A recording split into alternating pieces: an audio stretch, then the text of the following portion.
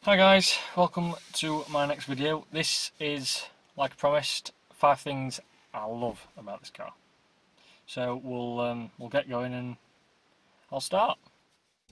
So five things I like about this car. So first thing has got to be the headlights. Love it.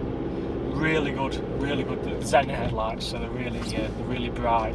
And on roads that I'm driving now, which no street lights, the, you know, the country roads, perfect, perfect. And on main beam, they are uh, brilliant as well. So yeah, um, first thing, headlights, fantastic. Second thing, cruise control. Now, obviously, my first car, Toyota Aygo, didn't have cruise control, um, but I can't believe how much I've used it since I've, I thought, oh, I'll use it on motorway, that's it. But um, use it, you use it where you don't expect to use it, like on just on on you know sometimes on main roads if you if you're in a certain speed limit, you just set it at like 40 or 30, and that's all you have to do. You know, that's that's. Um, so I love cruise control, especially on, on motorways when if you've got like a 50 limit, th things like that. Just set it at 50 and just just that's it.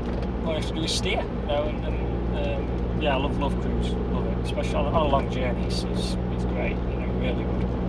Um, yeah, love it. Um, third thing, again, I mean, a lot of these are only small, um, but the third thing has got to be this this infotainment system. Love it, absolutely love it. It's um, it's great. It's so easy to use. It's beyond belief. You know, a, a five-year-old could use it. It's that easy, and it's brilliant. It's got Garmin sat nav, got everything on it, live traffic, speed cameras, the lot. Um, it's really good.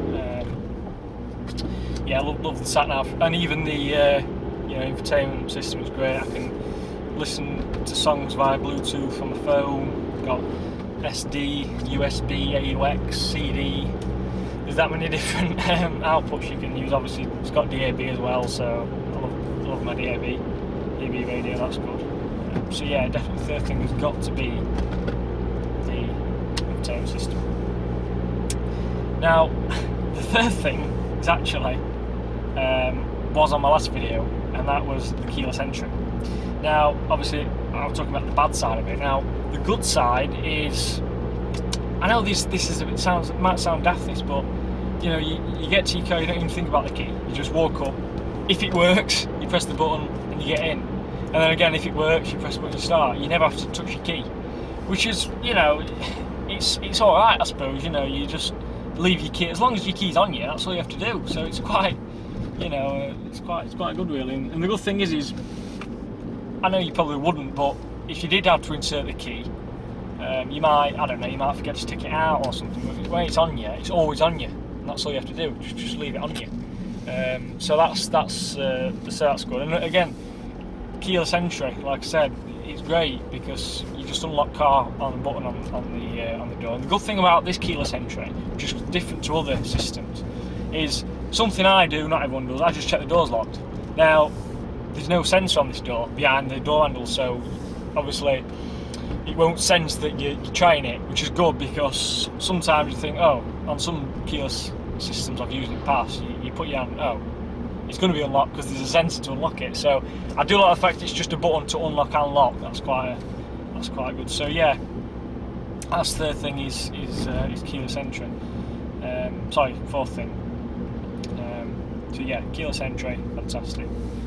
The final thing um, has got to be, has to be, these seats. Because I did say mention in the last video about um, about they're not going low enough, but I don't think so. I think they, they go they go low enough for me, and also the um, the they're really supportive, really supportive, and especially on, if you're going obviously on, on a decent road, you want a bit of support around down the side that. It's, it's really supportive. Um, so yeah, they're really holding tight and uh, really comfy as well. Really comfy. So yeah, final thing's got to be the seats. I mean, there's lots of things, but I've had to obviously narrow it down to five things. Um, so that's it. So thanks for watching, guys. Remember, please remember to like, comment, and subscribe. There will be more videos, um, hopefully on the car, some external shots, obviously a bit of driving on, on decent roads, things like that, um, just to give people an idea of you know ownership of one. So, uh, so thank you.